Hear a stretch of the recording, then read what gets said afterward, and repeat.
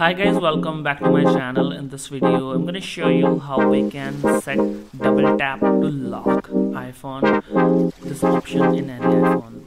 How we can enable uh, the lock uh, by tapping double time by tapping the device on the iPhone. So start with, uh, without any problem. Let me see. Let me show you the thing. Um, the, the thing explain you how we can lock our iPhone when it double tap on the on the iPhone and your iPhone will be locked. Just it will just show the lock screen and it it will be locked like in Android phones. We get the feature that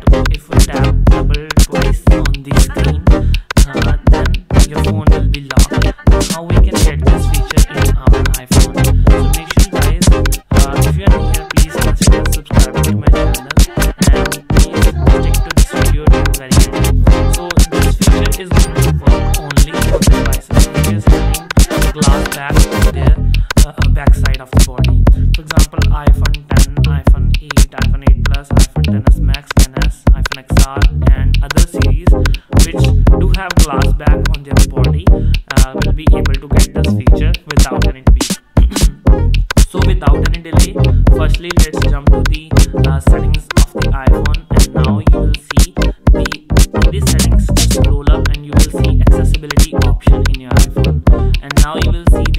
section. Tap on the section. Just scroll up to the bottom and you will see back tap option. Is on here so you just need to tap on double tap option set it on